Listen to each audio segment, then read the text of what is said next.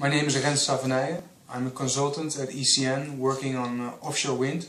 The reason why I work at ECN is because I believe in, uh, in sustainable energy.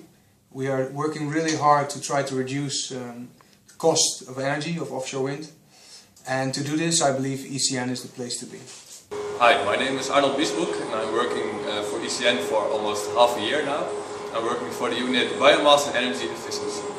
And we are working on converting biomass into energy and chemicals.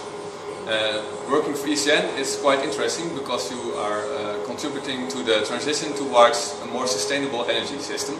And you can perform a lot of research here, uh, also for example explosivity research, uh, but also the scaling up of processes from lab scale towards pilot plant scale. Hello, my name is Ozan Ceyhan and I work for ECN for five years now.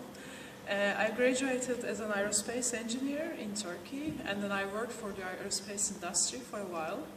But then I thought I want to do something good for the environment. So that's why I find myself at ECN and working for renewable energy, which is wind energy. My name is Mark Overwijk and I'm the senior manager of the group Bioenergy. And that's a group working on uh, transforming biomass into forms of energy.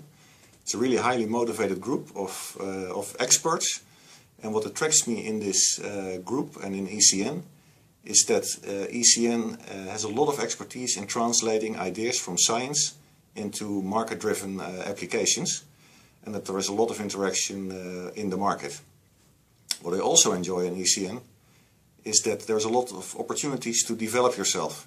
Uh, initiatives are encouraged and are really appreciated.